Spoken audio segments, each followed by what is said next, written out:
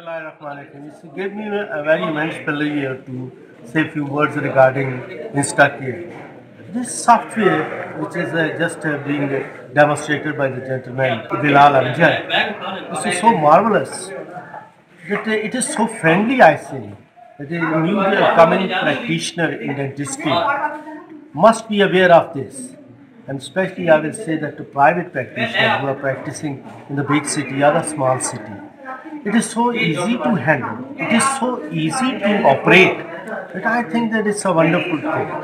That we, I must educate it. That uh, all these new dental surgeons and uh, new practitioners must go ahead to purchase this software.